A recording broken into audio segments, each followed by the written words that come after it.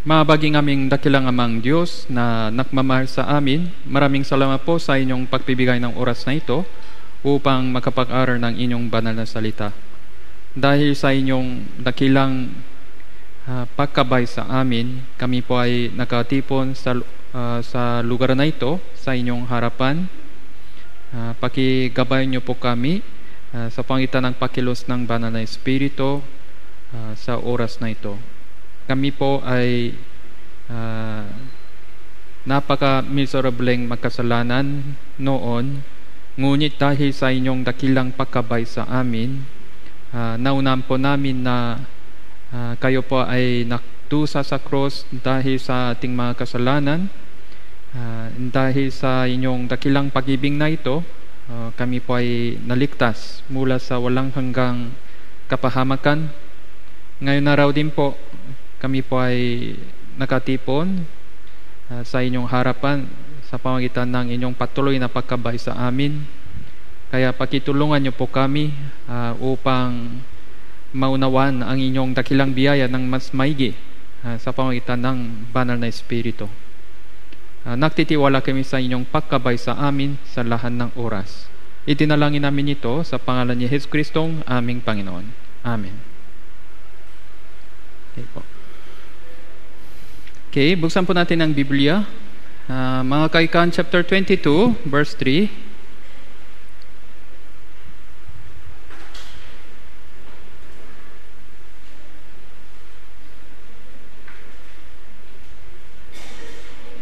Chapter 22, verse 3 hanggang 5 po.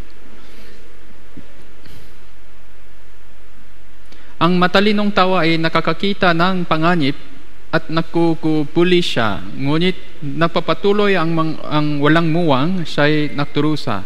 Ang gantimpala sa pagpapagumpaba at tako sa Diyos, tako sa Panginoon, ay kayamanan, karangalan at buhay. Nasa daan ang ng mandaraya ang mga tinik asilo, ang nakingat ng kanyang sarili sa mga yon ay lalayo. Hmm.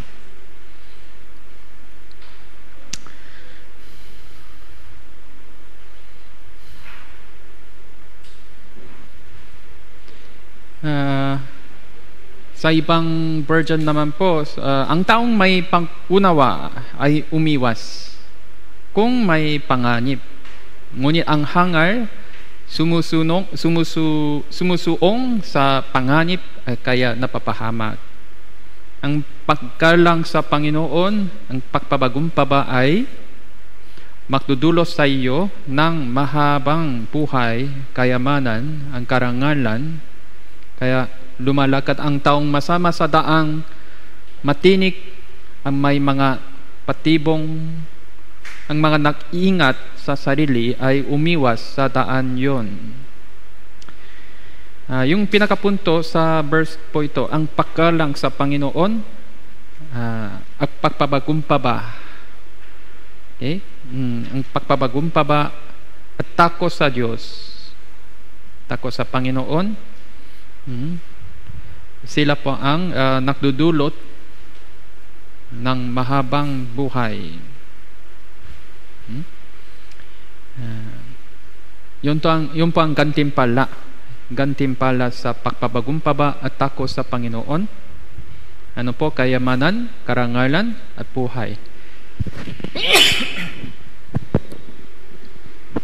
kayamanan, kaya, kayamanan doon sa yung uh,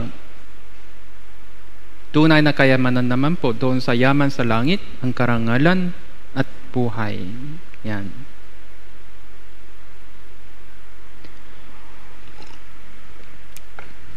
Yung uh, pagpabagumpaba at takos sa Panginoon. Uh, ito pa ay importante sa ating Kristo ng pamumuhay. Uh, uh, gaya ng pinarampo natin uh, dati, um, uh, humility Uh, dapat tayo po ay magpapagumpaba sa harapan ng Diyos. Hmm. Uh, kaya doon po sa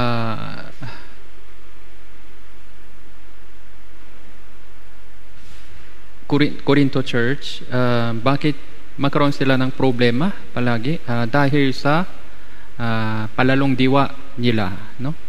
Dahil sa kaya, kanilang kayabangan. Uh, kaya po yung pang, uh, sa totoo lang, yung pang pinakahadalangan uh, sa ating Kristiyanong pamumuhay, um, yung kayabangan, uh, ito pa ay naksimula uh, mula sa uh, uh, masamang espiritu. No? E doon po sa uh, Isaiah chapter 14, uh, verse 13, sabi ng uh, sabi ng uh, sabi ni Satanas na oh ako'y aakyat sa itaas sa itaas ng bituin ng Diyos aking itatak ang aking trono gu sa itaas. Gusto niyang uh, nagiging kagaya ng Diyos. Sa totoo lang, gusto niyang ilagay ang kanyang sarili mula sa uh, uh, sa kanyang sarili kaysa uh, Diyos, uh, sa itaas ng Diyos, sa il, uh, sa ibabaw ng Diyos. Ako'y, ako'y aakyat sa itaas ng mga kaitaasan ng mga ulap. Uh, kaya pa sa bandang huli, siya pa ay nagiging uh, ano po, masamang espiritu. Hmm. tapos, uh, ngayon din po, uh, tinutukso ng masamang espiritu ang mga tao uh, para sila pa ay natitisod paano po uh, sa pamagitan ng pagbibigay ng uh, pagmamataas ng kayabangan sa kanilang puso kung pumasok na yung uh, kayabangan sa ating puso, magkaroon tayo ng problema. No? Hmm. Kaya doon po sa Kaikaan chapter 16, uh, verse 18, ang pagmamataas ay nauna sa kapahamakan. Uh, malinaw po yung sinabi ng Bible, ang pagmamataas ay nauna sa kapahamakan, ang palalong diwa ay nauna sa pagkabuhay. Kaya sino ang uh, tumitira sa iglesia tuloy-tuloy? Yung mga may mapapagumpabang loob. Sila pa ay tuloy-tuloy. Sa loob ng iglesia. Yung mga may matas na puso, yung mga may palalong diwa, uh, yung yung palalong diwa, ito pang naging hadalangan sa kanilang krisyanong pamumuhay. No? Hmm. Kaya po yung mga mapapagumpabang kapatiran, tuloy-tuloy sila sa, kahit anong sitwasyon, tuloy-tuloy sila sa uh, krisyanong pamumuhay. Eh, kaya verse 19, mas mabuti ang maging magpakumbabang loob na kasama ng uh, may hirap kaysa uh, makihati ng samsam sa, na kasama ng mapakmataas. Hmm? Mas mabuti ang magiging mapakumbabang loob na kasama ng may hirap. Hmm. Ano po? Uh, sino ang pinakamapapagumpaba? Sino po? Ang Panginoon Jesus. Siya po ang pinakamapapagumpaba. Nasaan po, nasaan po si Panginoon Jesus? Sa loob ng iglesia. Okay? Okay po. Kaya, paano tayo uh, paano tayo sumama uh, sa Panginoon um, sa pamagitan ng uh, uh, paktitipon uh, pag-attend sa paktitipon paulit-ulit mas mabuti ang magiging mapapagumpabang loob kasama ng Panginoon Jesus dito sa uh, iglesia. Eh, kaya yung kayabangan uh, ito po dapat uh, ano po uh, dapat ingatan po natin yung ating sarili uh, upang iwas yung ganitong bagay no? Uh, eh, kaya po. Si Apostle Pablo siya po ay uh, isang mabuting Krisyano uh, kaya siya din po ay magpapagumpaba uh, kaysa ibang Krisyano hmm? kaya ano pang patotoo ng uh, Apostle Pablo? Uh, doon po sa uh, unang Korinto,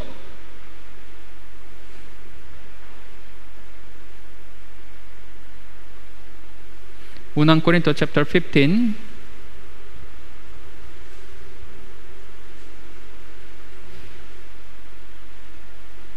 verse 8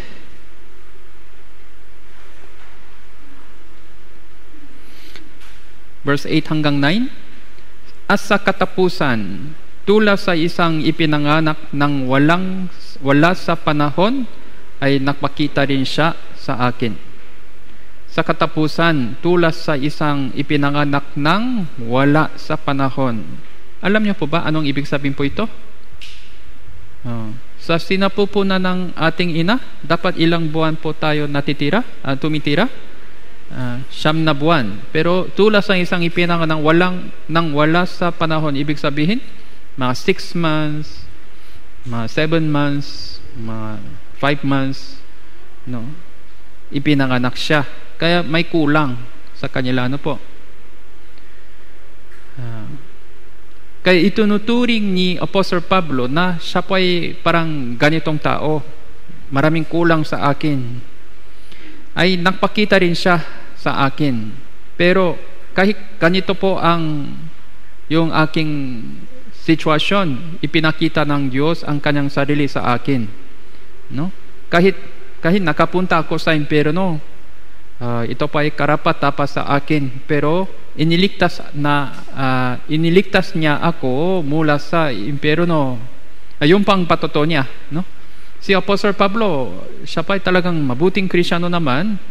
Uh, hindi siya ano po uh, mayabang no? Hmm, hindi niya sinabi ako mabuting Krisyano ganito ganito no po?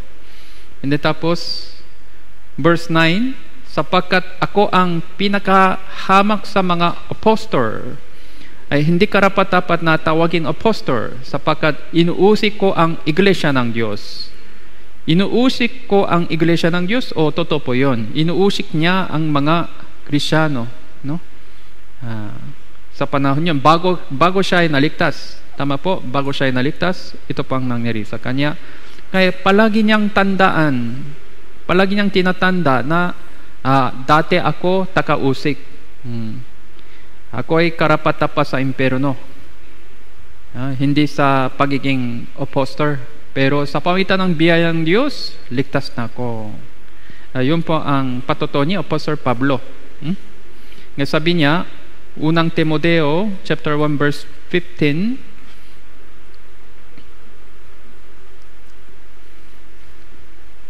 Unang Timoteo chapter 1 verse 15, tapat ang salita, nararapat tanggapin ng lubos, si Kristo ay pumarito sa sanlibutan upang iligtas ang mga makasalanan, na ako ang pangunahin sa mga ito, upang iligtas ang mga makasalanan. Yan. Ako ang pangunahin sa mga ito. Sino po? Si Apostle Pablo. Sabi niya, ako ang pangunahin sa mga ito. Ako pinaka pinaka miserableng makasalanan ako Dati ako, uh, takausik ako. Kaya palagi niyang uh, uh, tinatandaan na siya po ay dating uh, takausik talaga.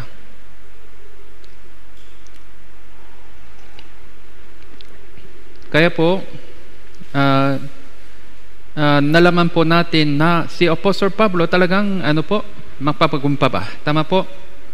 Hmm. Eh, sabi niya, uh, mm, sa pamagitan ng biyaya ng Diyos, ako ay ako. Hmm? Ang kanyang biyaya ibinigay sa akin, hindi nawawalan ng kabuluhan.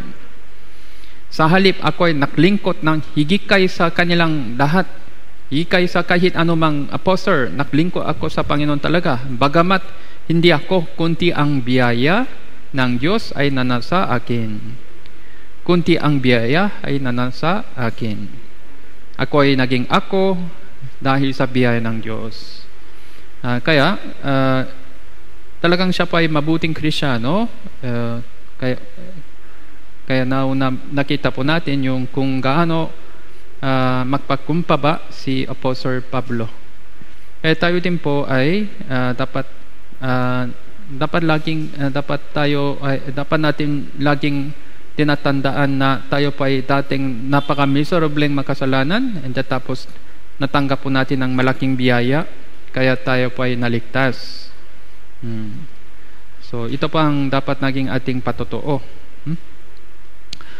Uh, kaya, uh, pero,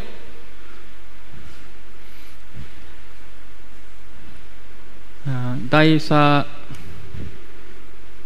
tukso ni Satanas, kung tayo pa'y naging mayabang, ito pang nangyari. Ano po? Dapat tayo pa'y nasa ilalim ng Diyos, pero kung ilagay natin yung ating sarili sa itaas ng Diyos, ano po ito? Ito pa ay palalong diwa. Tama po. Pagmamataas. No, hindi naman ito tayo ako mismo kung tayo mismo ilagay dito, yon din problema kahit ano po kahit iba't ibang bagay, no? Hmm?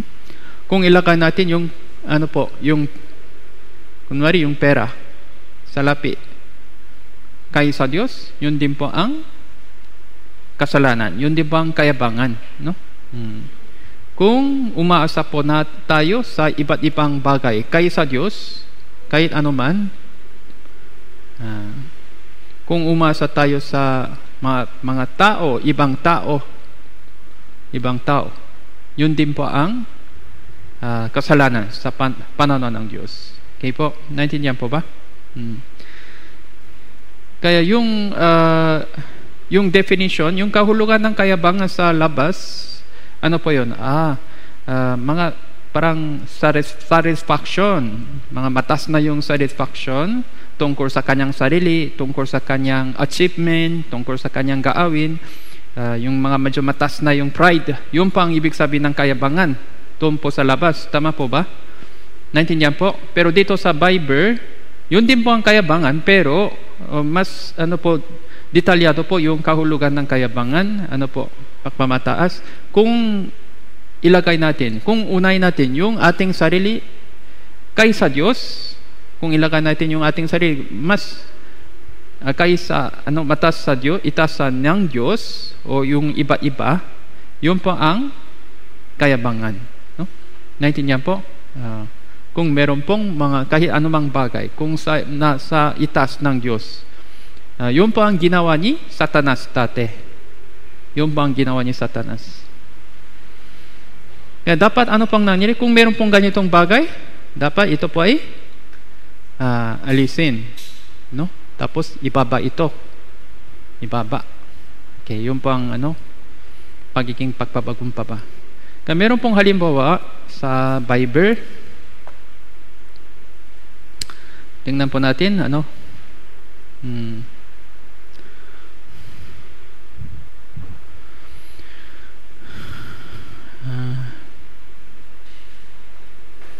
Unang Samuel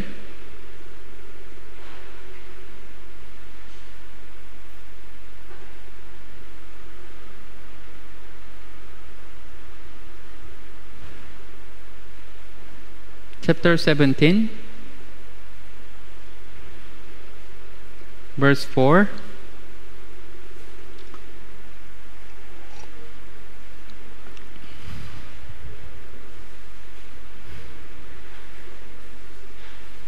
Unang Samuel chapter 17 verse 4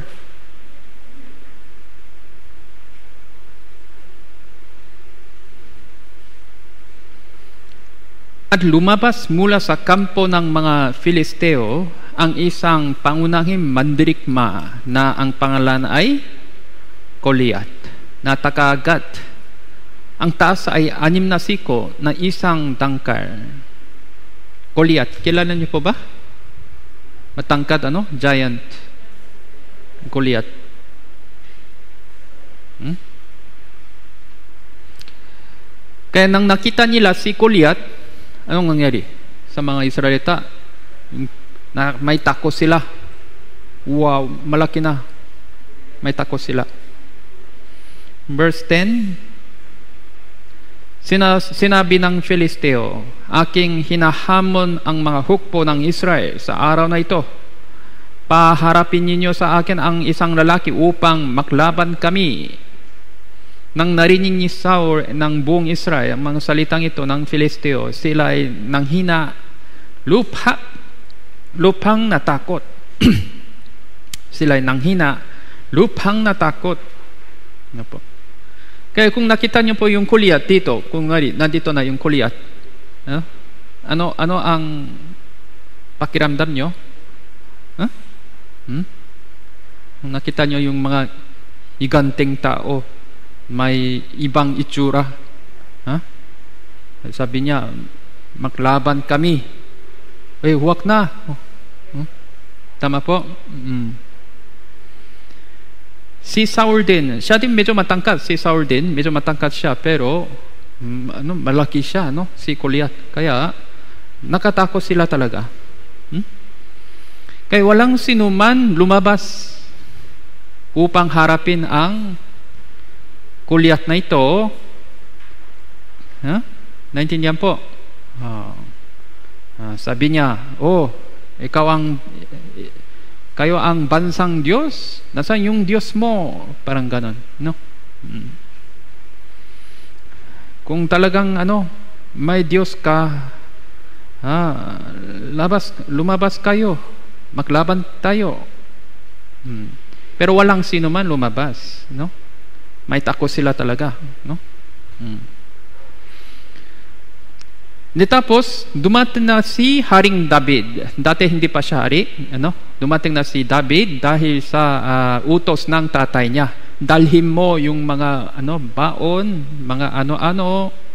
Ibigay mo yung mga ito sa ano chip uh, no chip chip tanot ay hindi chip ano parang yung ano kapitan ah, sabi niya kapitan tama ibigay niyo ito sa kapitan then uh, ng kapitan ng mga uh, kapatid mo. Yung kapatid niya, siya pang parang bunso, kaya yung kapatid niya nasa uh, uh, ngayon dahil sa yung gira na ito, nandoon po sila. Ipunta ka, dali mo yung ano, baon, tapos ibigay mo yung ganitong bagay sa kapitan para sa inyong kapatid. Hmm? Kaya yung pang utos ng tatay niya, kaya umang-umaga, umalis siya. Uh, gumising siya and then umalis na, no? Uh, yung si David, una, masunuring. Masunuring siya. De, tapos nang dumating siya, de, tapos, uh, ito pang nangyari, verse 25, sinabi ng mga Israelita, Nakita ba ninyo ang lalaking yon na umahon? Talagang umahon siya upang hanum, hanum, hamunin ang Israel. Ang lalaking nakakapatay sa kanya ay bibigyan ng hari ng malaking kayamanan. Ibibigay sa kanya ang kanyang anak na babae. Siguro mo, huh? magiging malaya sa Israel ang sambayan ng kanyang ama. Sinabi, narinig ni David ang sinabi ng Kuliat, hindi tapos narinig ni David ang sinabi ng mga tao sa palibot niya, ah, bibigay daw yung malaking kayamanan. E tapos narinig niya yung sinabi ng kuliat, parang pak, pakpalas, pal, pala, uh, pakpalastangan tungo sa Diyos. Kaya nagalik din si David. Bakit kanon? Sino po ito? In verse 26, sinabi ni David sa mga lalaking nakatayo sa tabi niya, ano ang gagawin sa lalaki nakakapatay sa Filisteong ito? Makapakalis ng kahihiyang ito sa Israel. Sapagkat sino pa itong hindi tuling Filisteo na kanyang hahamunin ang hukpo ng Diyos na buhay? Ang mga taong bayan ang sumagot sa kanya na gayon din paraan. Gayon ang gagawan, gagawin sa lalaking nakakapatay sa kanya. Narinig ni Eliab na kanyang pinakamatandang kapatid nang siya'y nagsalita sa mga lalaki. Kaya ang galik ni Eliab ay nangingas laban kay David. Kanyang sinabi, Bakit ka lumusong dito? Kanino mo iniwan yon? Kaunting tupa sa ilang. Nalalaman ko ang inyong kapang, uh, kapangahasan ang kasamaan ng inyong puso sapagkat ikaw ay lumusong upang panorin ang labanan. Naintindihan po? Nagaliktaw yung Eliab. Bakit po? Kay David. Bakit? Kasi yung David sa panahon yon parang bata lang ito. Mali po siya. Ha? Huh? Tapos, nang nakita nang narinig yung sinabi ni uh, David, ay yung batang ito, bakit nandito? No? Ingatan mo ang inyong sarili. Punta ka sa yung ano, uh, yung tupa, ating tupa. Bakit nandito pa? Ah, no? Kaya yung pang sinabi niya, nagalik tao. Yung sinabi ni David, ano bang aking ginawa ngayon? Hindi ba't salita lamang? Uh, kaya, iniisip ni ano, uh, Eliab, yung pinakamatandang kapatid, yung bata naman ito, oh, uh, bakit ano nandito siya?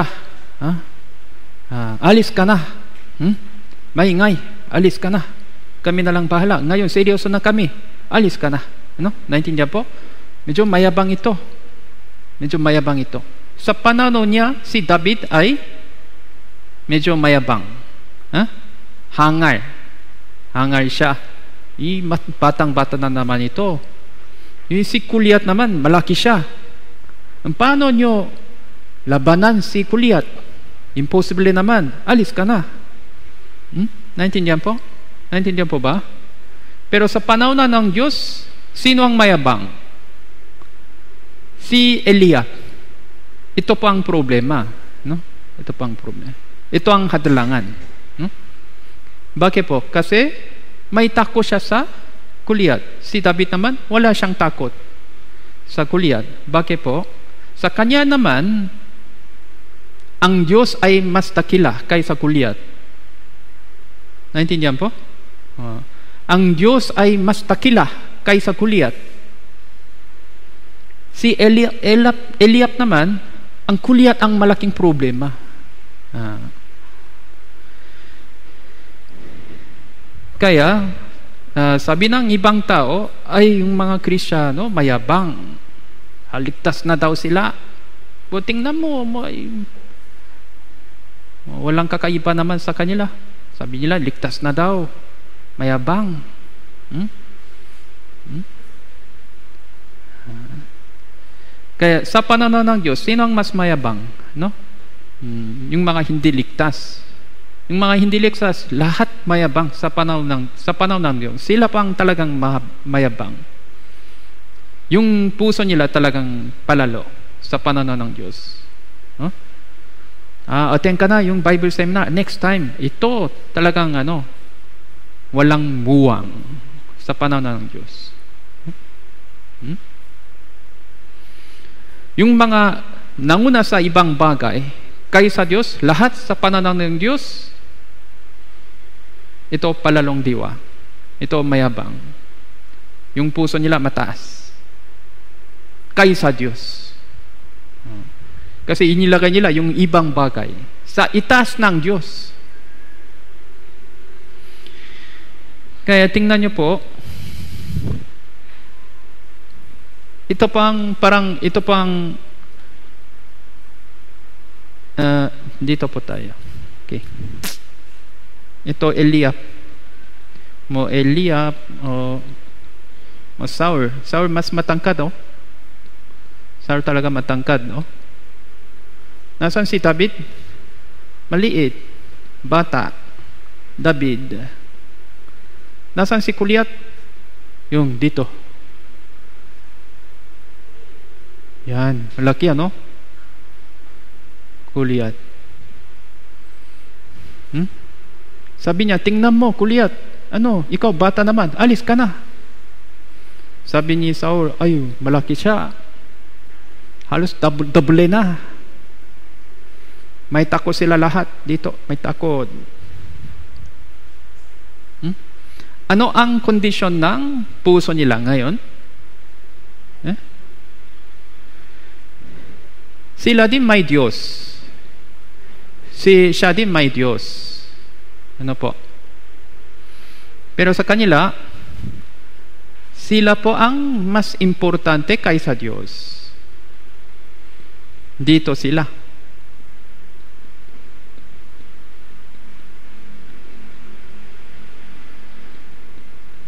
Elia. Kaya para sa kanila, si Kulya naman, mas malakas kaysa kanila. Tama po ba? Si Goliath naman, mas malakas kaysa kanila. Kaya, yung si God, siya pang pinakahamak sa pananaw nila. Sino ang mas malakas kaysa uh, sa pananaw nila? Ga- Diyos o Goliath? Eh, Siyempre, Goliath po. Siyempre, Goliath. Bakit po? Uh, sila mismo nauna naman. Uh, unay naman kaysa Diyos. Hmm? Sa ibabaw ng Diyos, sino po? Sa itas ng Diyos, sila po. Goliath naman, mas malakas naman kaysa kanila. Ha? Kaya sa ibabaw nila, silo, sino yan? Sa itas nila, Goliath. Kaya, matay, kaya may tako sila sa Goliath. Si David naman, ang Diyos ay pinakadakila. Kaya sa pananaw niya, si Goliath ay parang kaysa Diyos, parang alikabok lang ito. Naintindihan po? Kaya sa pananaw nila, si David mayabang. Kasi inisip nila, si David ay maliit na bata naman. Kaysa akin, siya po ay mas maliit naman. Sabi niya, maklalaban daw sa kanya. Ay, bakit ka noon? Wak na. Ay ko, alis ka na. Yung pang nangyari. Naintindihan po? Malinaw po ba? Pero kay David, sino ang ano po, sino ang pinaka uh, dakila sa kanya? Diyos. Uh, Diyos. Hindi hindi hindi yung kanyang sarili. Hmm. Sa itaas ng Diyos, wala, wala. Yung pinaka dakila sa kanya ay Diyos. Kaya po si Kuliat naman, Kaysa kanya, siguro, mas malaki siya. Pero kaysa Diyos, malit naman siya. No? Uh, kaya ito po ay, sa pananaw ng Diyos, sino ang magpapagumpaba? Yung mga may tako sa kuliat o yung may tako sa Diyos? Yung mga may tako sa Diyos. Sila po ay magpapagumpaba. Hmm. Kaya yung kapagkumpaba sa yung kahulugan ng kapagkumpabaan sa Biblia ay uh, medyo iba po, iba sa Bible. Hmm? Kaya basta ngayon araw, nandito daw yung mga paktitipon. Kung unahin nila ang paktitipon kahit sa anong sitwasyon, ay sila pang medyo magpapagumpaba. Naintindihan po?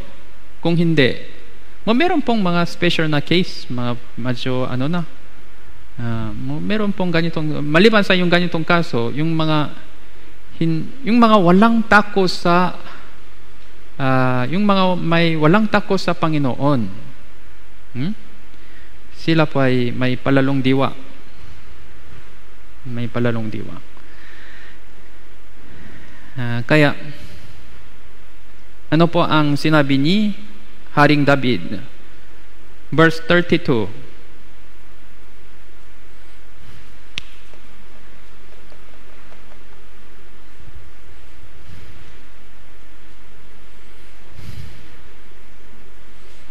Sinabi ni David kay Saul, huwag manghina ang puso ng sinuman dahil sa kanya, ang inyong lingkot ay hayayo, lalabanan ang Filisteong ito. Sinabi ni Saul kay David, hindi mo kayang labanan ang Filisteong ito sapagkat ikaw ay kabataan pa. Siya ay isang lalaking mandirikma mula pa sa kanyang pagkabata. Ngunit sinabi ni David kay Saul, ang inyong lingkod ay naalaga ng mga tupa para sa kanyang ama. Kapag may dumating ng leon o kay, kay, kay oso, kinukuha ang isang gordero sa kawan, ay hinahabol ko siya, aking pinapatay, aking inililigtas ang gordero mula sa kanyang bibig.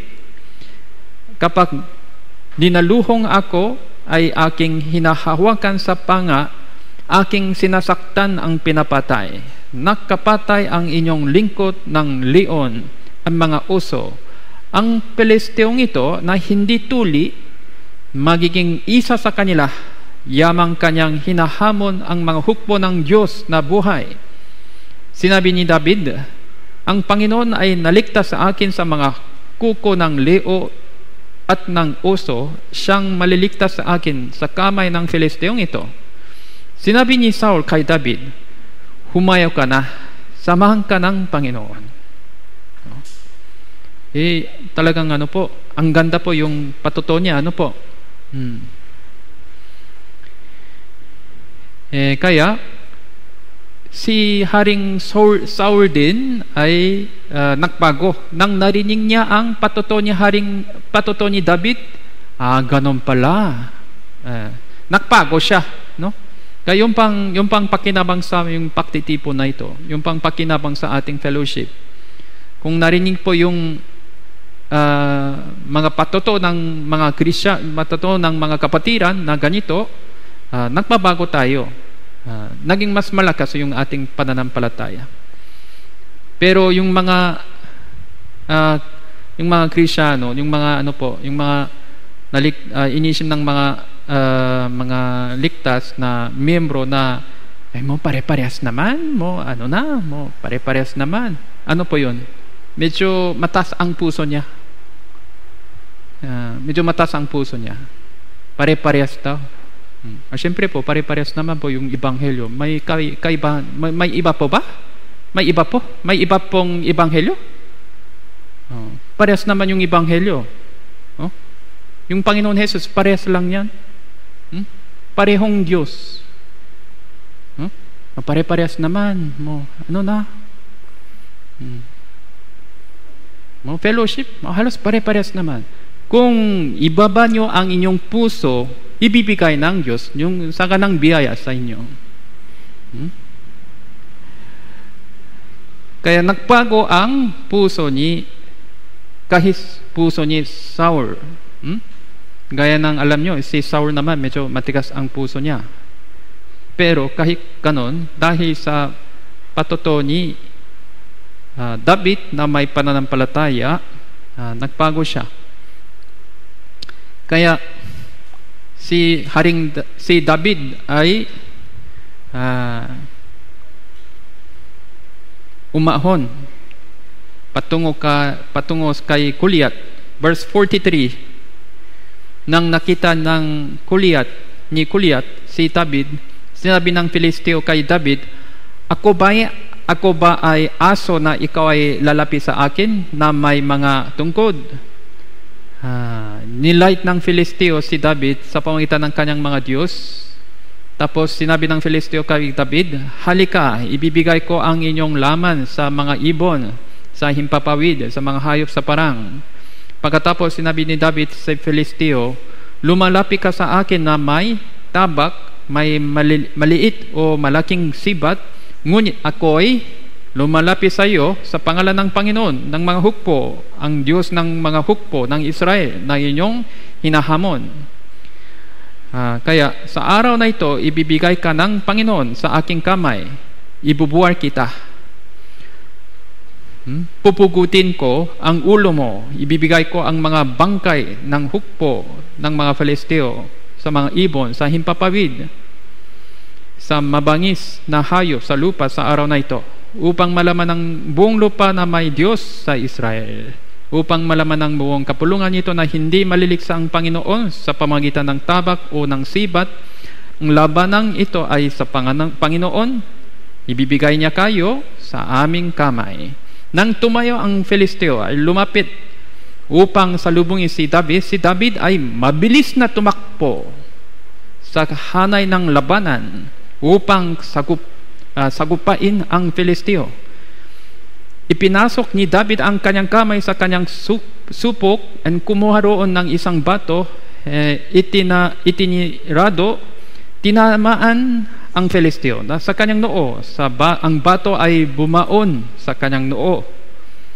Pasusup, uh, pasupsop siyang bumaksak sa lupa. Si David ay mabilis na tumakpo yan. Patungo sa kulyat, yung malaki. Pero nakita na nakita ni David ang dakilang Diyos sa likod ni maliit na kuliat. Nakita ni David ang dakilang Diyos sa likod ni kuliat. Hmm? Sa pamagitan ng pananampalataya. No? Kaya sa pamagitan ng kapangyarihan ng Diyos at tulong ng Diyos, pinapatay ni David si Kuliat. Ano? Tama po? Hmm. Kaya sino ang mas mayabang? Si Saul, si Eliab o si David? Sino ang mayabang? Si Eliab, si Saul. Sila pang mayabang. Si David naman po, magpabagumpa ba siya? Kasi wala na iba sa kanya. Diyos lang. Hmm. Kaya magpabagumpa pa siya. Si Kuliat, ito pa ang pinakamayabang ngayon. Ito ang pinakamayabang. Ito ang pinakamayabang. Kasno naman ito.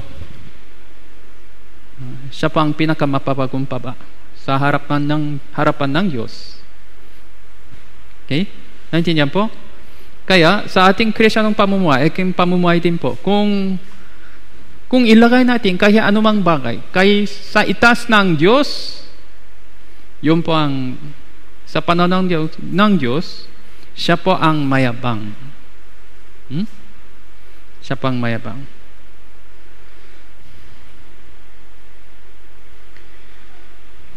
Uh,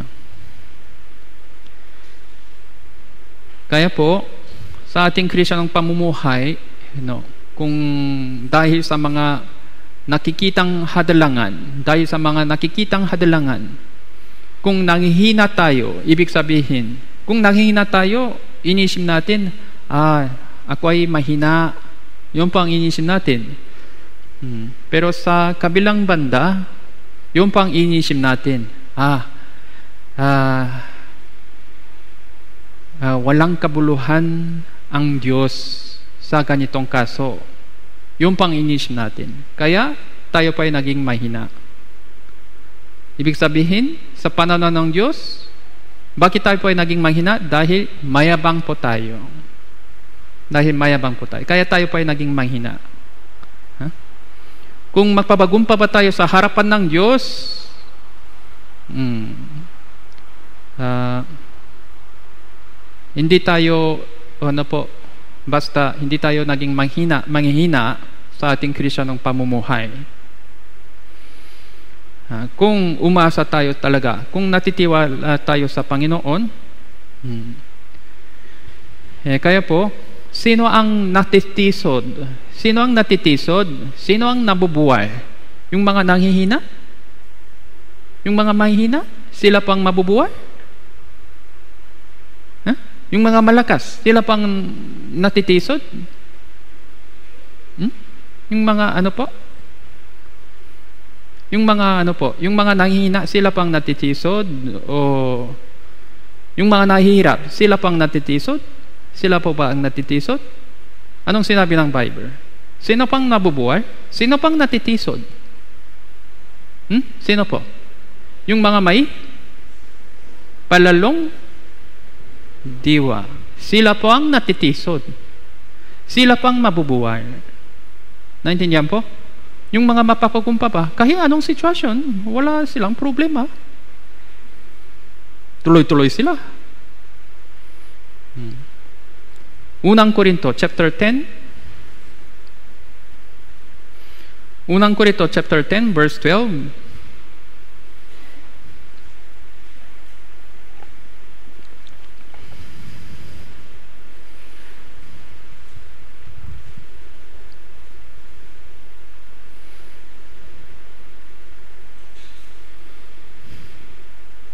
Unang Korinto chapter 10 verse 12. Kaya ang naakalang siya'y nakatayo, ang naakalang siya'y nakatayo, ibig sabihin, ngayon, siya naman po, nanghihina siya o malakas siya? Ang naakalang siya'y nakatayo, ibig sabihin, ngayon, nanghihina siya o malakas siya? Malakas. Malakas siya, kaya akala niya, Nakatayo na ako sa aking sarili. Mangingat na baka siya'y. Mabuhay. mabuhay. Hmm. Kaya, si Haring David, no po, mapapagumpa pa siya. Ano po? Tama po. Pero natiso din siya. Bakit po? Kasi siya pa ay naging nahina, kaya natiso siya. Kaya siya pa ay naging nahina, kaya natiso siya. Anong kasalanan na ginawa niya? Pangalun pagpatay. Bakit po? Dahil nangina siya? Dahil nangina siya, siya pa ay gumagawa ng pangalun? Dahil malakas siya. Hmm. Tapos, dahil medyo yung puso niya medyo nak mataas na. Kaya natus, natiso siya kaagat. Kaya natiso siya kaagat. Doon po sa ikalawang Samuel, chapter 11,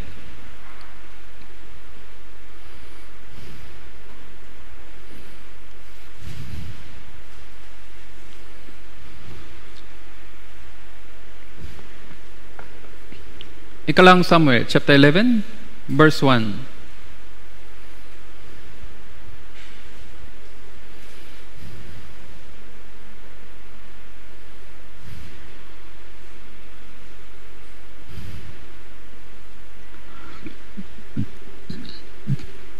Sa taksibor ng taon, ang panahon na mga hari ay lumalabas. Ikalang Samuel po, chapter 11, verse 1. Ang taksibor ng taon, ang panahon ng mga hari ay lumalabas upang makipaklaban. Ah, ito, uh, magandang panahon para sa para sa pakipaklaban. Magandang panahon, no?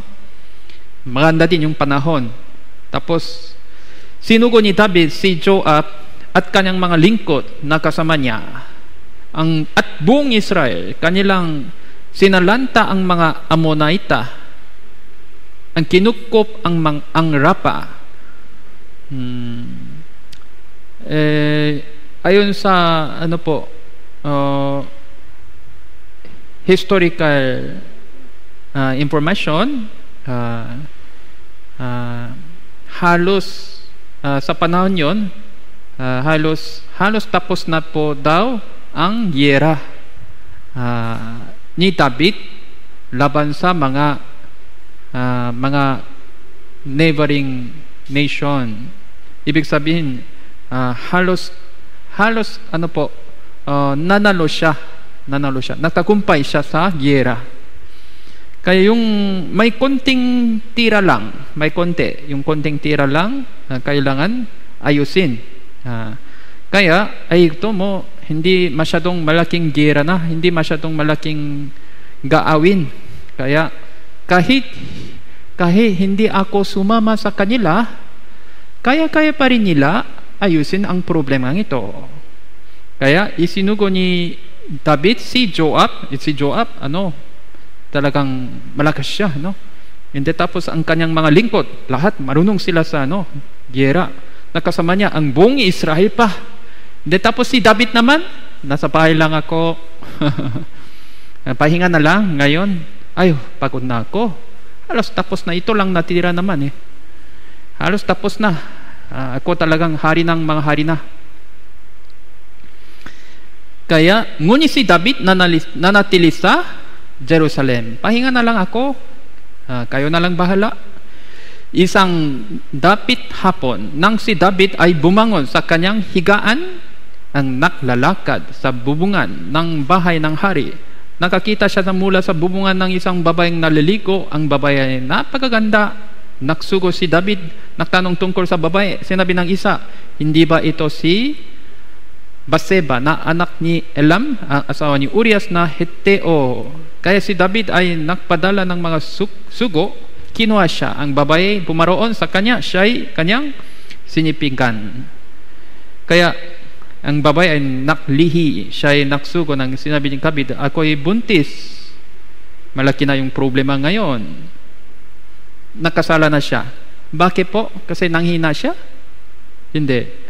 Nang siya ay pinakamalakas, natiso siya. No? Hmm. Bakit po? uh, yung puso natin ay naging mataas. Paano natin malaman? Nasa Jerusalem siya, no? Nasa Jerusalem. Manatili siya sa Jerusalem.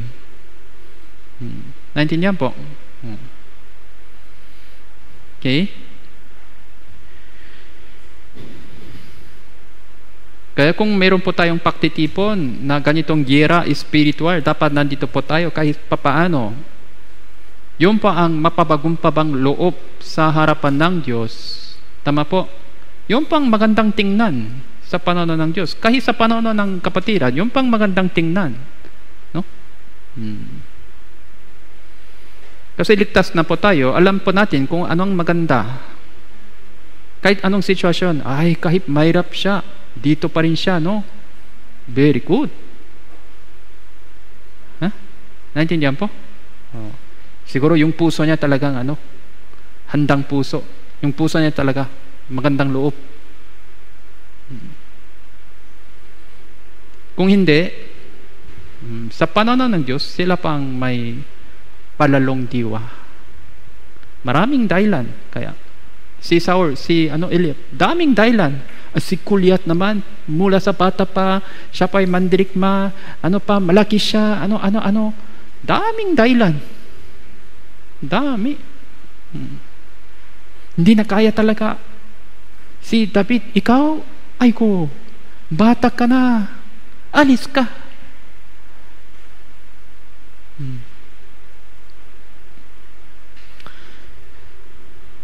Uh, pero si Haring si David ay ay ginamin ng Diyos. No? Ginamin ng dakilang Diyos. Siya pa ay naging kasangkapan ng dakilang Diyos. No? Eh, kaya meron pong iba't ibang ano po halimbawa dito po sa ikalawang kronika chapter 26 ikalawang kronika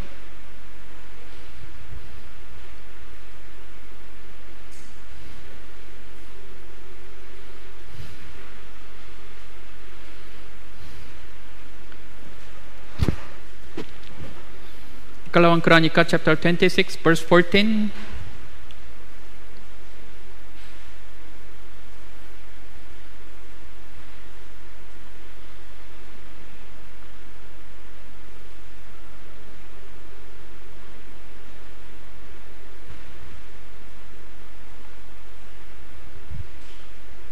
Ang buong hukpo ay ipinakhanda ni Usias ng mga kalasak mga sibat, mga helmet, mga metal na sap, saplot, mga pana, ang mga batang pandirato, pandirador, siya ay gumawa sa Jerusalem ng mga makina.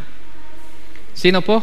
Uh, nakita natin yung isang uh, hari. Ang pangalan niya ay Usias. Siya din po ay isang matuwid na hari, matuwid na hari sa Israel. Sa buong hukbo ay ipinakta, ipinakhanda ni Usias ng mga kalasak, mga sibat, mga helmet, mga metal na sapdot, mga pana, mga batong pantirador. Siya ay gumagawa, gumawa sa Jerusalem ng mga makina, nilika ng mga uh, no, bihasang tao upang ilagay sa mga tore, sa pa, uh, panulukan, upang makpa hilakko, hilakpos ng mga pana, malalaking bato. Ang kanyang kabatungan ay kumala sa malayo sapagkat siya ay kagila, kagila-gilas, gilalas na tinutulungan hanggang sa siya ay lumakas. Hmm? Uh, kaya, talagang inihanda niya yung mga maraming bagay upang protektahan ang Jerusalem, ang Israel. Ano po? Uh, pero, kung hanggang dito lang, okay. Pero, nakaroon siya ng problema, spiritual. Verse 16, kung nang siya'y lumakas, siya'y naging, ano po? Palalo. Dahil sa ginawa niya.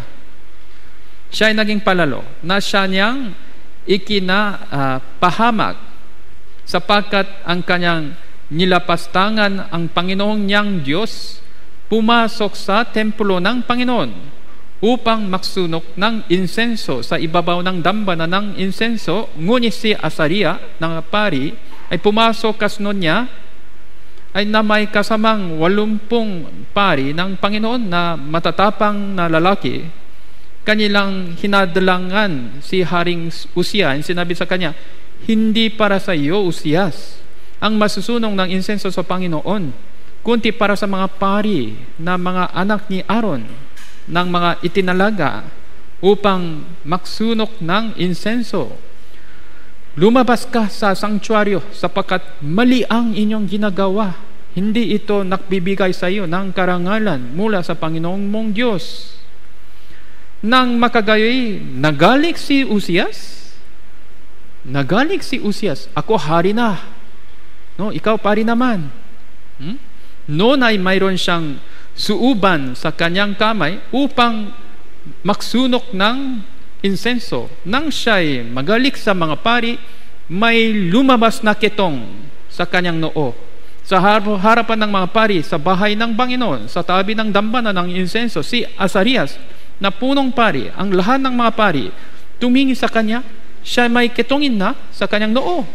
Siya'y mabilis nilang itinaboy, papalabas, e siya'y na, siya na may nakmamadaling lumabas. Sapagkat Sinaktan siya ng Panginoon. Si Usia, natisot siya ngayon ng medyo serious. Natisot siya talaga. Bakit po? Dahil siya pa'y nanghina? No? Dahil siya pa'y mahirap? Hindi. Kahit siya pa'y ngayon napakalakas na, natiso siya. Bakit po? Dahil sa, ano daw? Si, si ano daw? Ngunit nang siya'y lumakas, siya'y naging palalo. Nang madali. Nang madali. Kung naging palalo siya, ano po? Madali silang, madali silang nakasala. Madali silang nakasala madali silang sumuway sa salita ng Diyos. Madali silang lumayo sa Diyos. Bakit po? Inisip nila, malakas ako. Okay pa rin ako. Kahit walang Diyos, okay pa rin. Yung ganitong malit na kasalanan, okay pa rin. May isang absent, okay pa rin. Wala silang tako sa Diyos. Wala silang tako sa salita ng Diyos. Magkonting paksway, okay pa rin. Wala silang takot talaga sa Diyos.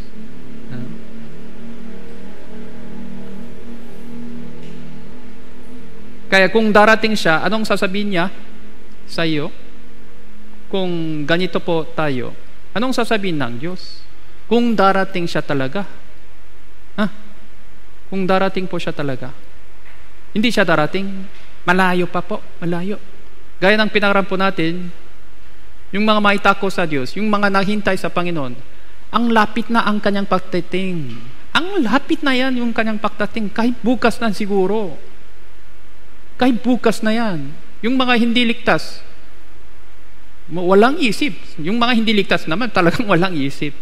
Bible seminar tayo, importante. Ah, sige po, next time. Wala silang isip talaga. Walang muwang.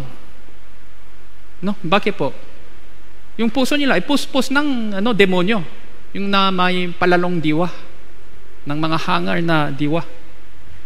Eh, wala silang talagang ano po, isip talaga na maayos tungkol sa kanilang sarili.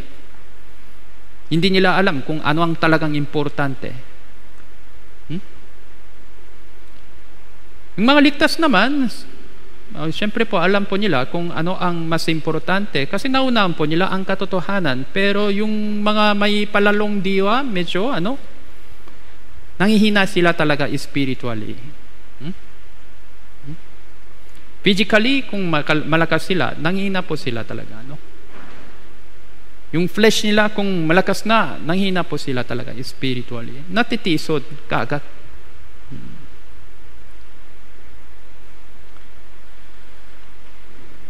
Eh, kaya po,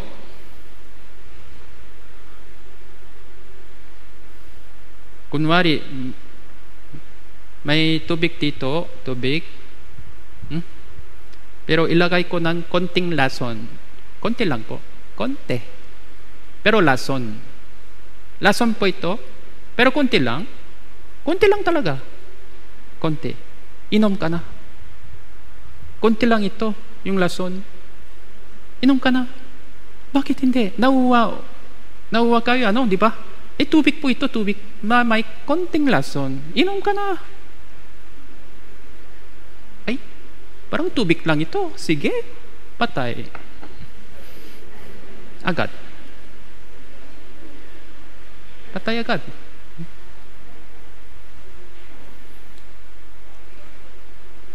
Ay, yung konting kasalanan, ay, okay na yan. Konti naman ito.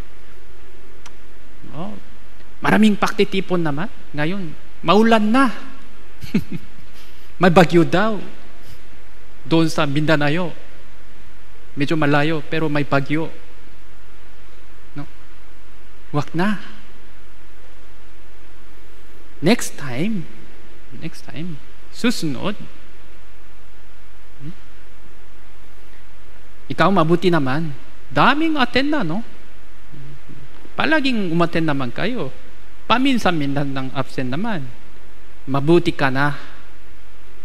Hmm? Unti-unti. Mabuti ka na.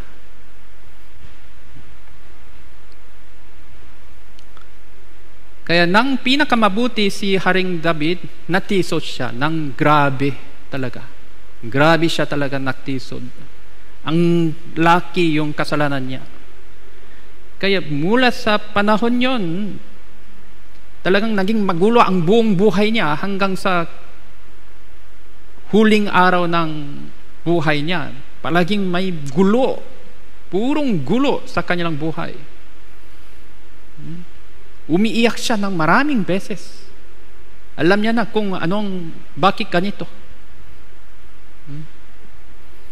Nang pinakamalakas siya, grabe pa ang tisot niya. Kaya kung medyo okay po yung ating buhay, dapat mangingat po tayo ng mas maigi. No? Hmm, mas maigi. Paano po? Gaya ng sinabi niyo po, Sir Pablo, ako ay ako, naging ako, sa pangitan ng biyaya ng Diyos. Purong biyaya ng Diyos.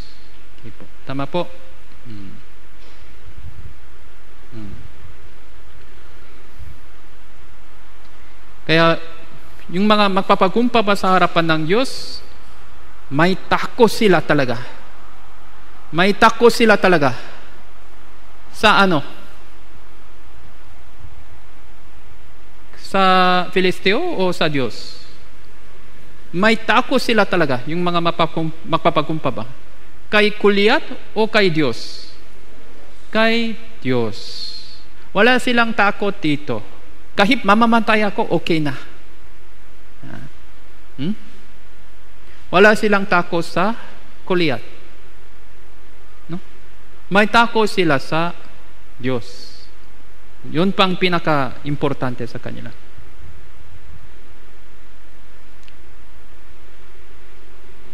Eh, kaya, naintindihan po yung ibig sabihin ng kapagkumbabaan? Ano po? Si Solomon naman, yung anak niya Haring David, no?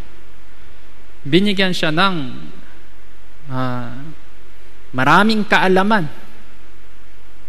kay Haring Solomon. Daming alam si Solomon. No? Kaya sa panahon ni Haring Solomon, ang bansang Israel nagiging dakila talaga. No? Dakilang bansa ang Israel sa panahon ni Haring Solomon. Si Haring Solomon, yung IQ niya, mga yung IQ, yung IQ niya, mga 300, 400. Daming alam. Marunong. Marunong siya sa lahat ng bagay. Kanta, mo ano-ano, mamakina, ano-ano, lahat. Mga politiko, bilang politiko, lahat. Marunong siya sa mahusay, lahat. Kaya po sa panahon yung naging dakila siya talaga. Ano po? Pero anong nangyari sa kanya? Siya din po ay talagang natiso ng mas grabe kaysa kanyang anak ama. Ha? No? Si Haring David naman, basta naksisi siya, no? Naksisi siya. Tinatanggap niya yung disiplina ng maayos. Pero si Solomon naman, talagang tumalikos siya sa Diyos. Ano? Kaya minsan po, uh, mga, meron pong mga opinion na iba-iba kay Solomon. Yung Solomon, siguro hindi pa siya ligtas. Oh. Hindi pa siya ligtas. Paano siya tumalikod ng ganito? Siguro hindi pa siya ligtas si Solomon. Maraming knowledge, mga wisdom, king of wisdom, pero siguro yung spirito niya ay sa pandang huli, sa wakas, hindi pa siya ligtas. Meron pong ganitong opinion na ano, na hindi pa sigurado. Kasi kung pagdating sa lumang tipan, medyo malabo. Si Haring David talaga siyang ligtas. Si Haring David talaga siyang ligtas. Pero yung mga, meron pong mga sure na sure, Hiskia, siguro, ligtas na siya, Hiskia. No? Meron pong ganitong kaso. Pero yung mga iba naman po, hindi katulad ng bagong tipan, medyo malabo. Si Solomon din medyo malabo, konti. Kaya anong nangyari? Unang, unang hari,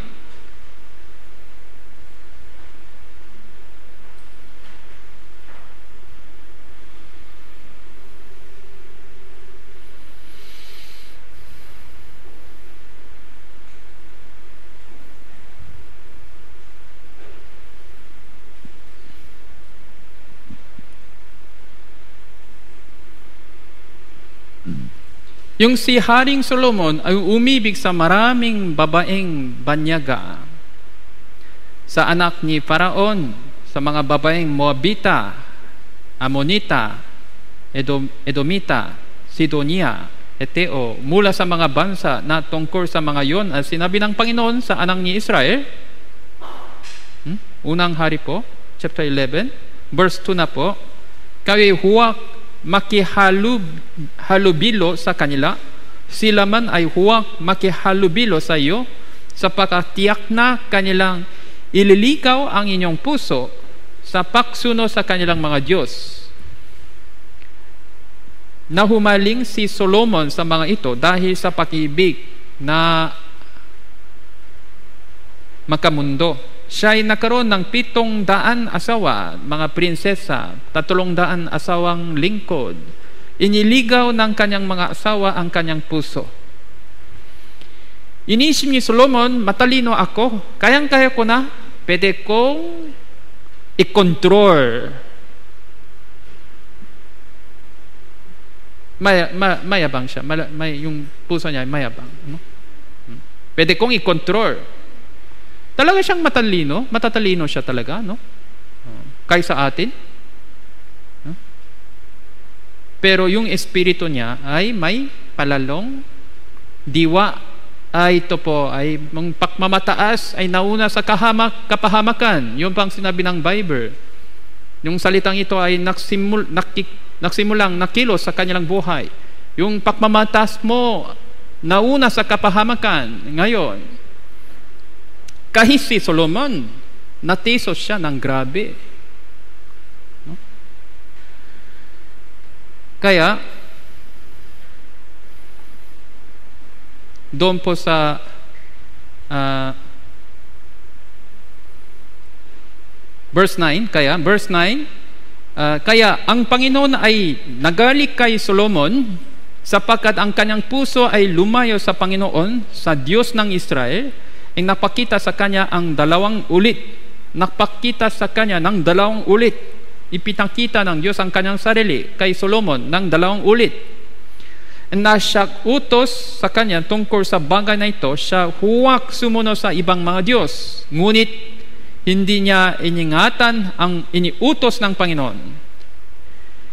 Kaya sinabi ng Panginoon kay Solomon, yamang ito ay nagawa mo, hindi mo tinutup, tinupad ang aking tipan ang aking mga tuntunin na aking inutos sa iyo, tiyak na aking uh, gawin ang kaharian sa iyo, aking ibibigay sa inyong lingkod. Tiyak na. No? Dalawang beses na ipinakita ng Diyos ang kanyang uh, kay Solomon. Sa atin din po, walang perpektong tao, tama po ba? Minsan nakamali tayo, minsan medyo spiritually nanghina tayo. Kung ganon, uh, ipapakita ng Diyos ang kanyang kalooban sa atin sa pamagitan ng iba't ibang paraan. Ano? Iba't ibang paraan. Kung ganon, dapat tayo pa ay maksisi tapos dapat tayo pa ay uh, lalapis sa Panginoon. No? Dapat tayo pa ay lalapis sa Panginoon. Naintindihan po? Pero uh, kasamang palad, hindi po ito nangyari kay Solomon. Eh, kaya,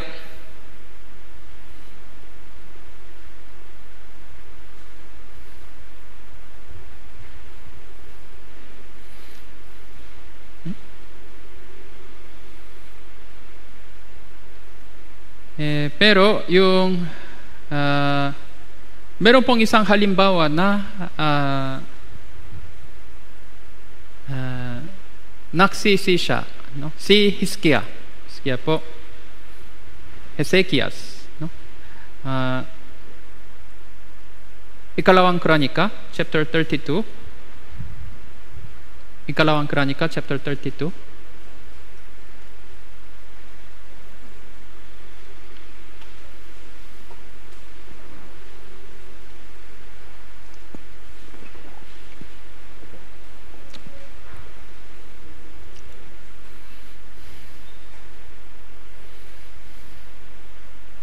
Ikalawang Kronika, chapter 32, verse 24.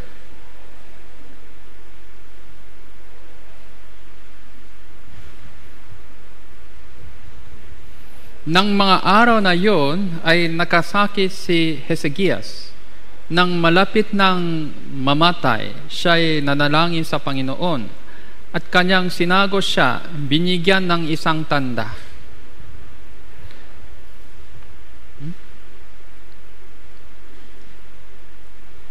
Uh, si Hiskia po, nakasakit siya. Ano po? Nakasakit siya. Hmm? Nakasakit siya. Ni tapos, yung sakit niya medyo, ano po, seryoso. Hmm? Seryoso. Uh, kaya po, siguro nanalangin siya sa Panginoon. Panginoon, tulungan mo ako. No? Tulungan mo ako. Hmm? Panginoon, ligtas mo ako mula sa sakit na ito. Ano po? And tapos, sa pangitan ng himala ng Diyos, hmm, gumaling po siya. Gumaling. Gumaling po siya. Tapos, verse 25, Ngunit si Hezekias ay hindi tum- tumugon ayon sa kabutihang ginawa sa kanya. Ang problema, pagkatapos siya pa ay gumaling, sa pamitan ng biyaya ng Diyos. Hindi siya lumalapit sa Panginoon ng mas maigi. Ha? Eh, parang inisip niya na, ah, siguro, yung sakit ko dati, hindi po yun seryoso. Ha? At siguro, yung gamot na ibinigay ng doktor ay maganda. Kaya gumaling na ako. Ano po? Sapagkat ang kanyang puso ay naging palalo. Kaya ang poot ay dumating sa kanya sa Juda at sa Jerusalem. Subalik, nakpakababa si Hezekias. Ang buti, bumalik siya sa Panginoon. Tumaliko siya sa dating kanyang maling daan.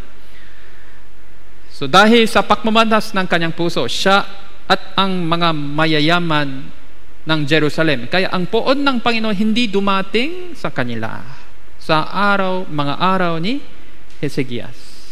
No. Ito pa ang sinabi dito. Bakit dumating na yung sakit sa kanya? Uh, mo, gaya ng pinara- sinabi ng Bible, uh, sa mundong ito, meron pong sakit, meron pong aksidente, palagi ganun po. Dahil, sa, dahil tayo pa ay naging mapapagumpaba, no? Hmm. Dahil tayo pa ay naging mapapagumpapa sa harapan ng Diyos, hmm, Uh, kaya generally, kahit sino man, uh, naranasan po nila na yung ganitong mga problema sa ating buhay, kahit sino man, kahit ligtas na, kahit hindi sila ligtas, kahit sino man, nakasakit po sila, no? Naka sila ng, nakaroon sila ng aksidente. Bakit po? Kasi para tayo pa ay naging uh, magpapagumpaba.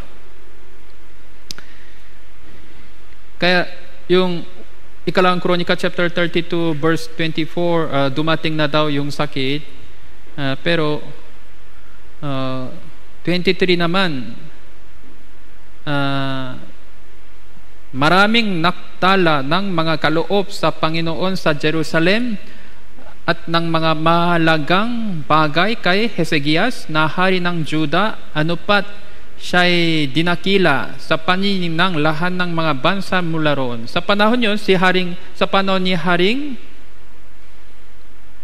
Hesekias, naging malakas po ang bansang Israel sa pamagitan ng uh, kapangyarihan ng Diyos, tulong ng Diyos. Hindi tapos si, Hari, si Hezekiah din po ay sincero, sincero siya. Kaya tinutulungan ng Diyos ang bansang Israel para sila po ay naging dakila kaya, dahil dito, si Hezekias din, parang ano po, siya din po ay dinakila sa pananaw ng ibang tao, ibang bansa. Kaya kung ganito, malaking problema, no? Kung si Hezekias ay naging mayabang, ito pang naging problema sa bansang Israel, kaya po, isinugo ng Diyos ang sakit kay Hezekias para siya pa ay naging magpagumpaba. Hmm? Kaya si Hezekias, Hezekias ay naging mapagumpaba pansamantala pero pagkatapos siya ay gumaling naging palalo daw ang puso niya ay ganon po yun yung ating puso yung puso natin ay sa pananaw sa anong sinabi ng Bible yung puso ng tao ay mabuti yung puso ng tao ay mandaraya Kanina, magpapakumpaba. Ngayon, mataas. Kanina, kung maraming problema, mapapakumpaba siya. Kung nawala na yung problema, eh, naging ano, ang puso ng tao ay mandaraya. Kaya kailangan natin i-control talaga sa, panan- sa panagitan ng salita ng Diyos. Kaya, ang naakalang siya'y nakatayo ay mangingat na baka siya'y mabuhay. Eh, kaya po kung pinagtataan po natin yung ganitong mga mga problema, uh, nagpapasalamat tayo sa Panginoon. No? Ah, siguro, ito po ang pagkabay ng Diyos sa akin para hindi ako naging palalo. Tama po ba? Okay, naintindihan po. Kaya, lalapit ako sa Panginoon ng mas maigi. Lalapit ako sa Panginoon. Lalapit tayo sa Panginoon mas maigi. Ano po? Naintindihan po ba? Naintindihan po? Uh, yung pang kalooban ng Diyos. Then tapos, mo evangelization, ano-ano, basta yung ating ministry, kung walang tulong ng Diyos, lahat impossible. Kung walang tulong ng Diyos, lahat impossible. Ano po? Hmm. Pero kung susunod tayo sa Panginoon, kahit sa mahirap na sitwasyon, walang impossible sa Diyos. No? Tama po ba? Uh, Ikalang Korinto chapter 10 verse 5.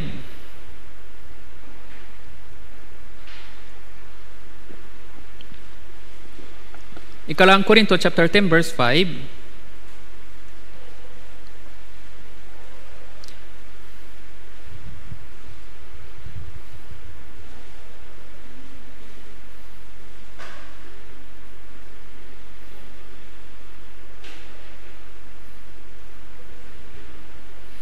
Ang uh, aming ginigiba ang mga pangatuwiran, ang bawa palalong hadalang laban sa karunungan ng Diyos at binibihak ang bawa pag-iisip upang sumuno kay Kristo na handang parusahan ang bawat paksuway kapag ang inyong paksunod ay ganap na. Ang importante, ano po, kung ating paksunod ay gaat ganap na, aming ginigiba ang mga pangatuwiran, ang bawat palalong hadalang, palalong hadalang laban sa karunungan ng Diyos, hmm? gigibi, gin, uh, gigibain ng Diyos. Lahat, no? Kung kung ating paksunod ay ganap na. Paksunod sa ano po? Sa Diyos. Kaya yung paksunod ni David ay, nang paksunod ni David ay ganap na gigibay ng Diyos ang Palesteong ito. Tama po? Ano po? Kung ang paksunod niya ay ganap na, walang impossible sa Diyos. Pero kung hindi, kung hindi siya sumunod sa Panginoon, lahat impossible. Lahat po impossible. Kahit anong pamamaraan, lahat impossible. No? Naintindihan po ba? Naintindihan po? Malinaw po ba? Malinaw po? Tama po ba o hindi? Tama po ba o hindi? Tama po. Yung pang sinabi ng Bible. Ang Biblia ay totoo. Palaging tama ang sinabi ng Bible. Eh, kaya, doon po sa Deuteronomy chapter 8 verse 14,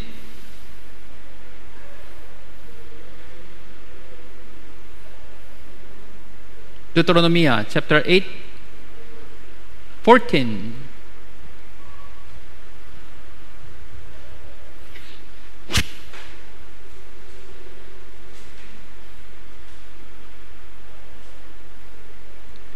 ang ay makmamataas ang inyong puso, ang inyong malilim, malimutan ang Panginoong mong Diyos na naklabas sa iyo sa lupay ng Ehipto, sa bahay ng pakaalipin. Hmm? Kung makmataas ang inyong puso, anong nangyari daw? Inyong malimutan ang Panginoong mong Diyos.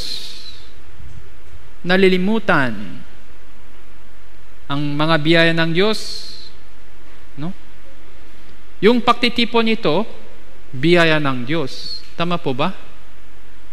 Ito talagang malaking biyaya sa atin, no? Kaya palaging, palaging sinabi ko sa iyo na sa ibang bansa ngayon mahirap. Ha? Ibang bansa po mahirap. Gusto niyang magtipon, hindi kaya. Bawal pa. Dito naman, malaya. Talaga. No? Nasa baba pa, nasa third floor pa. Kahit kanon kung naging tama tayo, o yun sa pananaw ng Diyos, anong sasabihin ng Diyos? Hmm?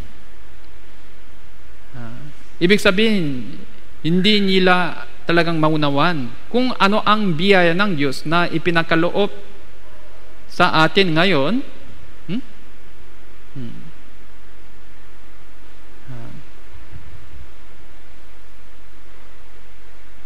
Inyong malimutan ang Panginoong mong Diyos. Kung mak- mataas ang inyong puso, ah, kaya ingatan po natin yung ating sarili. Hmm? Kaya ano po ang katangian ng mga may palalong diwa? Ah, nakalimutan nila ang salita ng Diyos. Ay, hindi po, pastor, kasi yung utak ko medyo ano, matanda na. Ah, hindi po, hindi, hindi. Hindi po ganyan. No? Hindi ko ibig sabihin mo na memorize kayo ng lahat. Pero yung mga importante-importanteng mga salita ng Diyos, hinahawakan nila talaga. Ano po? Kahit matanda na sila. No? Kung hinahawak nyo mga sampung verses sa Bible, hindi kayo natitisod ng basta. Kung meron pong kahit sampung salita ng Diyos sa inyong puso, na hinahawakan nyo talaga, hindi kayo natisinod. Hindi kayo natisisod. Hindi kayo maraming kalaman. Kung hinahawak natin yung talaga, yung salita talaga, hindi kayo, hindi tayo natitisod. Ang problema, yun din wala. Yun din wala sa ating puso. Purong ano, mga TV lang. Mga TV lang, mga ano, mga media, yun lang pumapasok sa ating puso. Yung mga barkada, yung mga ano-ano, yung mga makamundong usapan, yun lang puno na puno sa ating puso, kaya nawala na yung salita ng Diyos. Walang space, walang lugar para sa salita ng Diyos. Kahit isang salita, wala.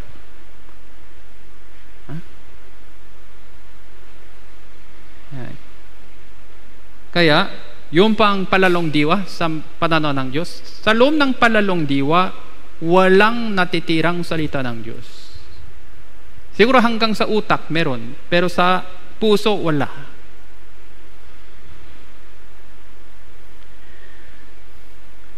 Tapos, kaya po, mga Kaikan chapter 3 verse 5, sa Panginoon ay buong puso kang magtiwala. Sa Panginoon ay buong puso kang magtiwala. Huwag kang manalik sa saliling mong pag-unawa. Hmm. Kaya sabi ng ibang verse, ingatan mo ang inyong puso. Uh, ingatan nyo ang inyong puso sa pangitan ng salita ng Diyos. Kaya sa Panginoon, buong puso kang magtiwala. Huwag kang manalik sa saliling mong pangunawa. Sa lahat ng inyong mga lakad, sa lahat, ngayon na raw din, siya iyong kilalanin. Itutuwit niya ang inyong mga landasin. Uh, kaya mo, halos pare-pares naman po yung ating buhay araw-araw. Hmm? Mo bukas, kahapon, mo talagang makaiba na. Mo halos halos parehas naman eh. Ano po? Halos parehas. Kaya ano pa ang issue? Yung ating puso. Saan siya ngayon, yung puso natin? Saan nilagay? Sa Panginoon o sa ibang bagay? No? Kaya, sila naman po, si Saul Eliab, may takot siya sa kuliat kaysa Diyos. Ano? Tama po ba? Kaysa Diyos may tako siya sa tao. Hmm. Sila naman mas importante kaysa Diyos. Sila naman nauna sa Diyos. Pero nang nakita nila na mas malaki ang tao kaysa kanila, naitako sila sa Diyos. May, na, nakatako sila sa tao. Oh. Sa totoo lang, ano pang katotohanan? Kahit anuman, kahit anuman ay napaka maliit sa harapan ng Diyos naman, sa kanilang puso, sino ang mas malakas? Sila mismo ay naging mas dakila kaysa Diyos. Kaya nang nakita nila yung mga tao na mas dakila sa kanila, may tako sila sa, sa kanila. Pero wala silang tako sa Diyos. Anong nangyari? Hmm? Baliktad talaga, baliktad. Kaya anong problema? Nasaan yung problema sa kanilang puso? Kaya mga kaikan, chapter 29, verse 25.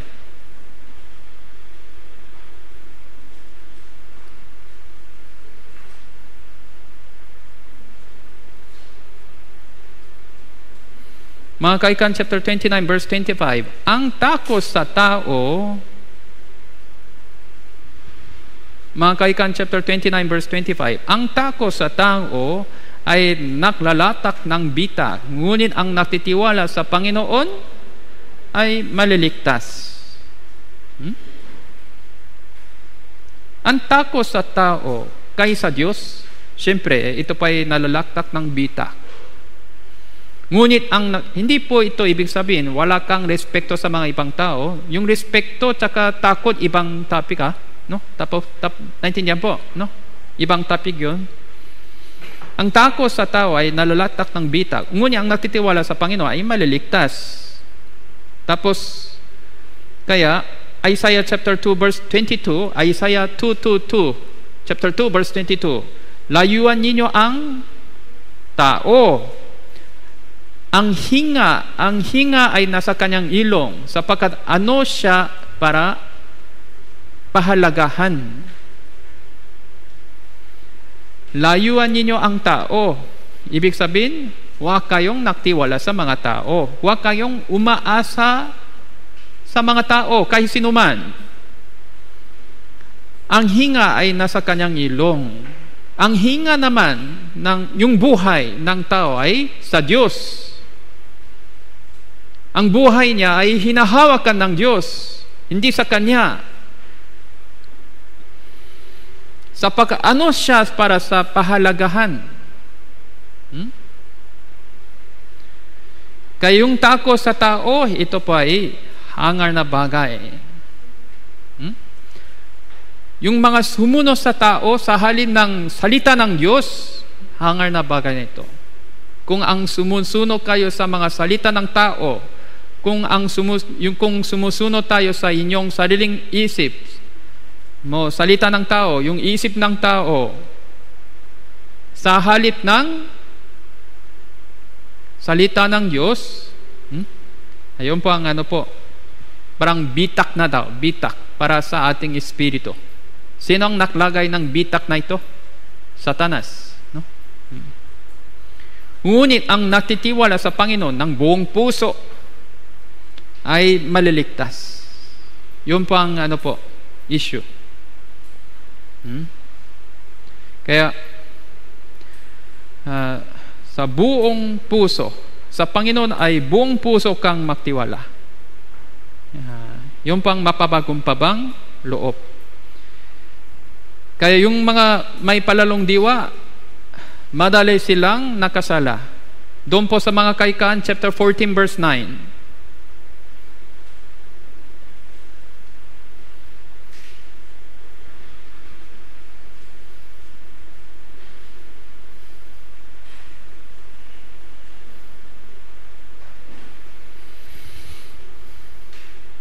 Mga kaikan chapter 14 verse 9, hinahamak ng hangar ang handok para sa kasalanan. Ngunit tinatama sa ng matuwid ang mabuting kalooban.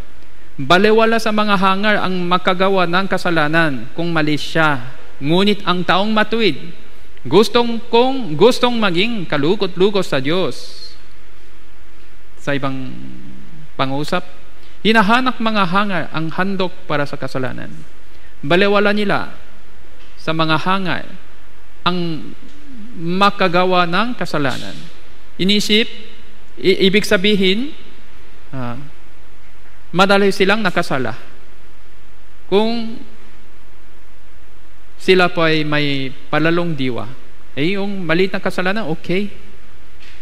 Mas unay nila ang kanilang kagustuhan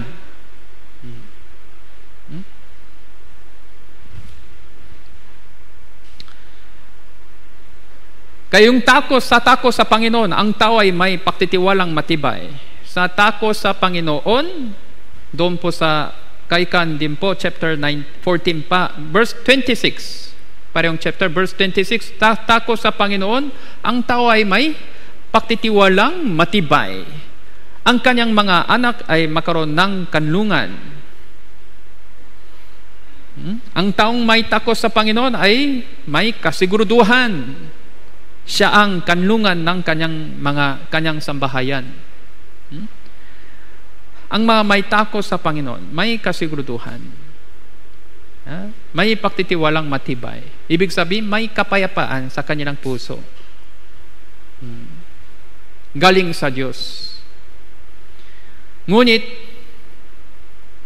ha, magkaroon sila ng takos sa ibang bagay. Yung pang pasimula ng kanilang gulo. Ang tako sa Panginoon ay bukar ng buhay upang makaiwas ang tao sa mga bitak ng kamatayan. Hmm? Ay kaya po, kung dati din po, mo, i-share ko nang po isang, meron pong mga miyembro na palaging late sa pagtitipon, palaging late. No? Kunwari, ano po, meron po tayong ngayon pagtitipon, 7 p.m. mo, 6 Kunwari kung dumating ng Panginoon, Jesus, kunwari po, 7 p.m. Dumating siya, 7 p.m. Kanina, nandito po kayo. Yung mga sa labas. Ha? Kaya kung ganon, anong sasabihin ng Diyos tungo sa mga labas? Hmm? Tama po? Ah.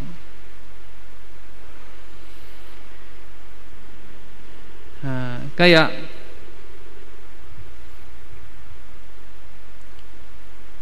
minsan tapos, kaya dati, eh, sinabi ko sa kanila, hindi to tama. Huwag kayong, sige, kung umaten kayo sa pagtitipon, maganda, fellowship. Sabi ng Biblia, manatili tayo sa Panginoon. Hmm?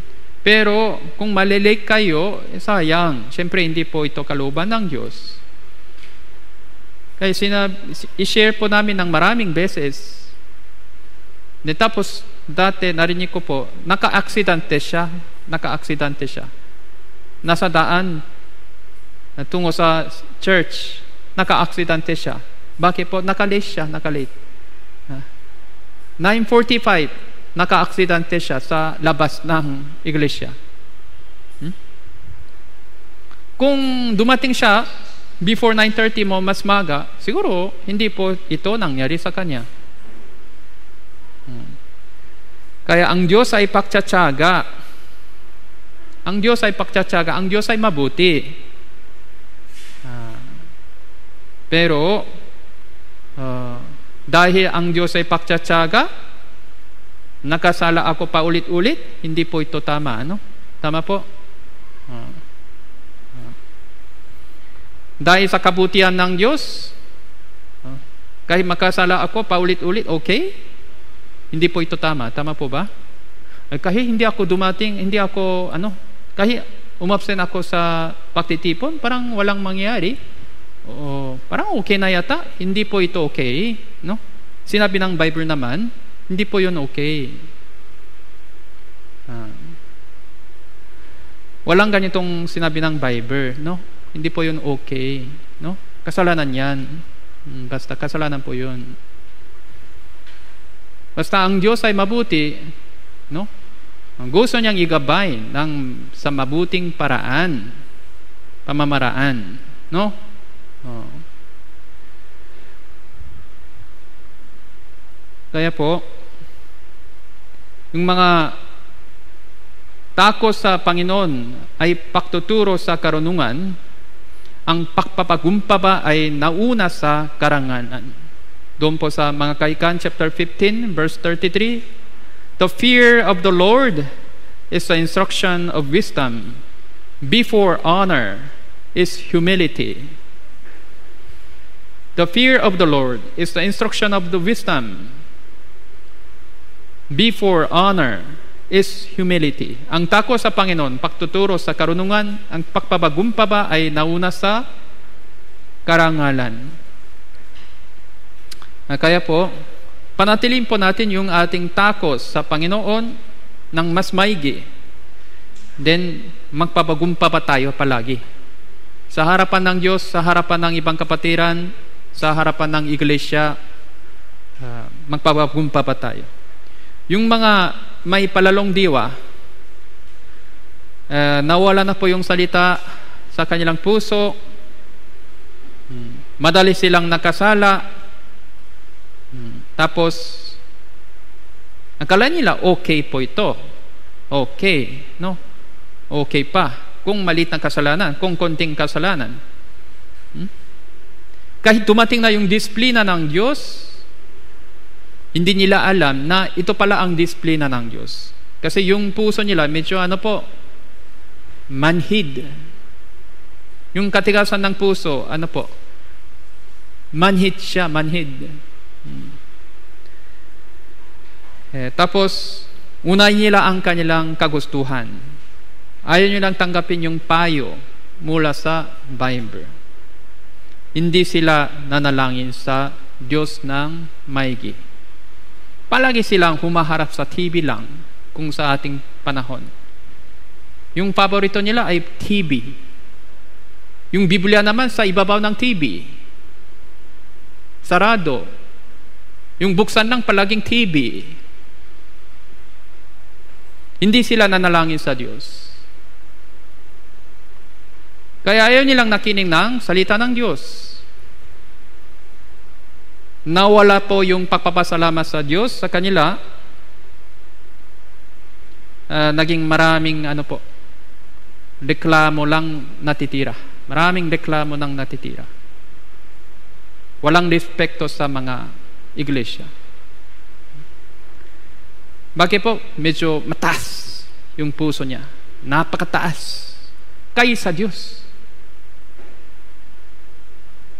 Siya pa ibabaw ng Diyos.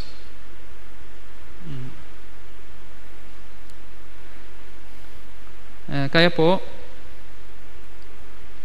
uh, ito pa ay uh, sinabi ng Bible, uh, kaya po, uh, uh, suriin po natin, sinusuri natin yung ating sarili kasama ng mga salita ng Diyos para iwasan natin yung ang uh, mga ganitong bagay sa ating Kristiyanong pamumuhay. Uh, kaya ano pang hadalangan sa ating Kristiyanong pamumuhay? Yung mga palalong diwa. Yung pang pinakahadalangan sa ating buhay. Kaya hanggang dito po, manalangin po tayo. Mabaging aming dakilang amang Diyos na nagmamahal sa aming, maraming salamat po sa inyong pagbibigay ng oras na ito upang makapag-aral ng inyong banal na salita. Pagitulungan niyo po kami upang maunawan ang inyong banal na salita ng mas maigi sa pangitan ng pagkataong ito. Ngayon, pinaram po natin yung mga uh, mahalagang salita tungkol sa ating uh, uh, tamang ano po uh, ugali sa inyong harapan Uh, dapat ano tulong panatilin po dapat natin panatilin yung ating uh, kapag kumbabaan uh, mapapagumbabang loob sa inyong harapan uh, kaya paki tulungan niyo po kami sa pangitan ng inyong salita para tayo po ay palaging mapapagumbaba sa inyong harapan sa inyong iglesia uh, sa pangitan ng uh, biyaya ng Diyos. Uh, idinalangin namin ito sa pangalan ni Yesu Kristo, ang aming Panginoon. Amen.